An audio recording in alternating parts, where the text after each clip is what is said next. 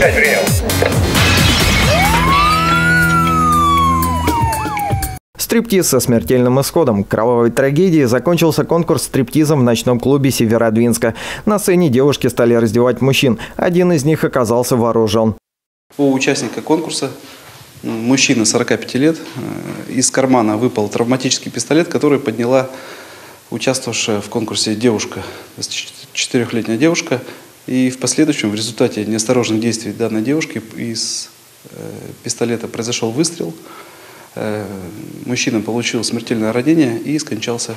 Пуля перебила артерию на шее. Известно, погибший бывший сотрудник правоохранительных органов. Виновница трагедии обратилась в полицию сама. Преступление девушка совершила непреднамеренно. Ранее судима не была. Поэтому суд назначил ей наказание в виде исправительных работ сроком на год и 6 месяцев с удержанием 10% от заработной платы в пользу государства.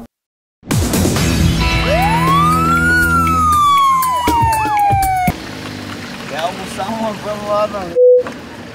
Очень хорошо.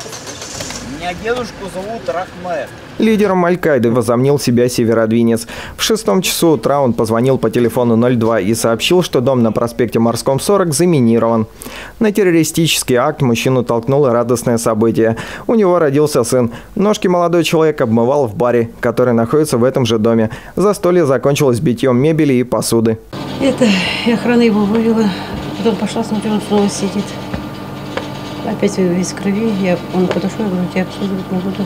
Ну, и пошел, сказал, говорит, я сейчас закрою вас. Я никак не думал, что таким, что таким методом он закроет нас. О взрывном устройстве мужчина сообщил в полицию со своего мобильного телефона. Движение автотранспорта по проспекту Морскому перекрыли. В течение 10 минут сотрудники полиции эвакуировали пятиэтажный дом, в том числе детей и стариков. Некоторых жильцов пришлось выносить на руках. Кинолог с собакой обследовал дом около часа. Взрывное устройство не обнаружили, зато виновника нашли сразу. На днях дело о нетрезвом террористе направили в суд. Ему грозит штраф до 200 тысяч рублей или до трех лет лишения свободы.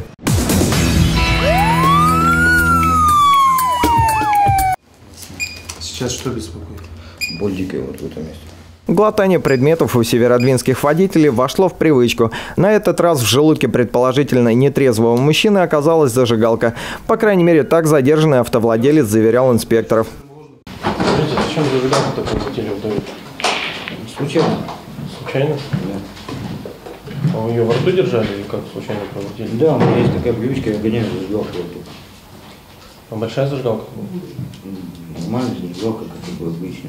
На проспекте Морском на своей пятерке водитель двигался без включенных фар и с непристегнутым ремнем безопасности, чем и вызвал сомнения полиции. От экспертизы задержанный отказываться не стал. В итоге прибор показал около 0,5 промилей. При общении с инспекторами у инспекторов сложилось достаточно основания полагать, что человек находится в состоянии алкогольного опьянения. Предложив человеку пройти медицинское свидетельствование, сами слышали и видели, человек предпринял все попытки уйти от административной ответственности.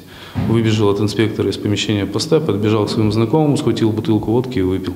Теперь водитель получит от полутора до двух лет. Кстати, достать зажигалку из желудка медикам так и не удалось. Водитель из больницы сбежал.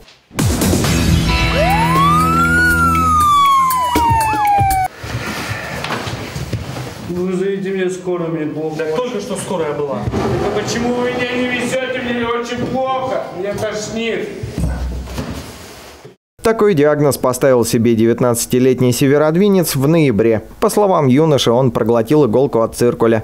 Это сподвигло его напиться и сесть за руль без прав. Только далеко уехать не смог, сразу оказался в ГИБДД. Сотрудники вызвали скорую, те определили. Парень симулянт. Однако горе-водитель не успокоился. Чего я жду? Чего я жду? Мне очень плохо. Я хочу оказать, чтобы мне оказали медицинскую помощь в приемном покое. В итоге молодого человека отвезли в больницу. Наличие иголки в его желудке не подтвердилось, как и в прошлый раз. Ведь точно с таким же самодиагнозом парень попадал в отделение на прошлой неделе.